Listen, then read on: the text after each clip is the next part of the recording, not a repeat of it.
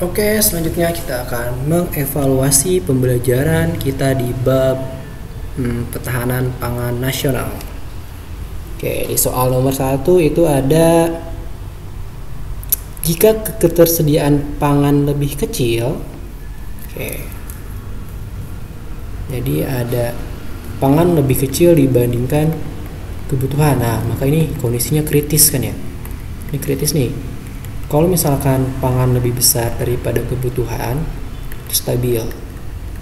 Berarti ini yang benar yang mana nih stabil ini salah. Ganti warna deh. Tansuan ini jadi salah. Yang benar adalah B dan D. Berarti yang E. Dan nomor 2 fenomena geografi di bawah ini termasuk faktor cuaca yang mempengaruhi ketahanan pangan. Faktor apa nih faktor cuaca ya. Nah ini El Nino atau uh, adanya arus eh apa namanya? Meningkatnya suhu lautan. Meningkatnya suhu laut di Samudra Pasifik yang mengakibatkan musim kemarau yang berkepanjangan lebih dari biasanya.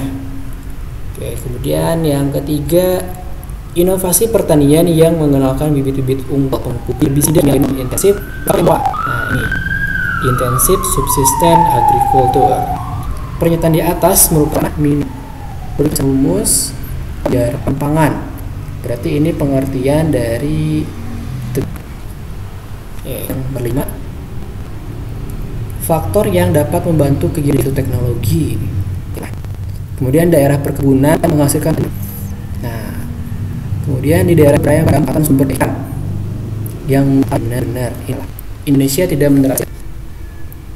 Kemudian nomor 8 merupakan energi yang dihasilkan e, dengan cara mengendalikan reaksinya kemudian diubah menjadi energi panas, kemudian menjadi listrik. Hmm, energi ini tidak memiliki energi ini memiliki keunggulan seperti tidak menghasilkan energi kaca, Oke, ini energi yang e, ramah lingkungan, berarti udah pasti bukan energi fosil, batu bara, ya kan? Nah, energi ini adalah energi dengan cara mengendalikan reaksinya, berarti energi nuklir karena ini reaksi fusi dan fisi. Nomor 9, Indonesia merupakan negara yang cukup. Belum banyak memanfaatkan itu energi apa katanya semuanya benar. Tapi yang paling benar ini tiga. Ini kan sudah dimanfaatkan nih. Yang A sudah dimanfaatkan berarti ya yang A. Tapi semuanya itu sudah dimanfaatkan ya cuman belum maksimal itu yang A B C doang. Oke nomor 10 penghasapa Sulawesi Selatan ini ya. Oke, jadi segitu saja evaluasi untuk bab ketahanan pangan. Sisanya bisa kalian cari sendiri soal-soal tentang ketahanan pangan nasional. Oke, jadi cukup sampai di sini. Wassalamualaikum warahmatullahi wabarakatuh.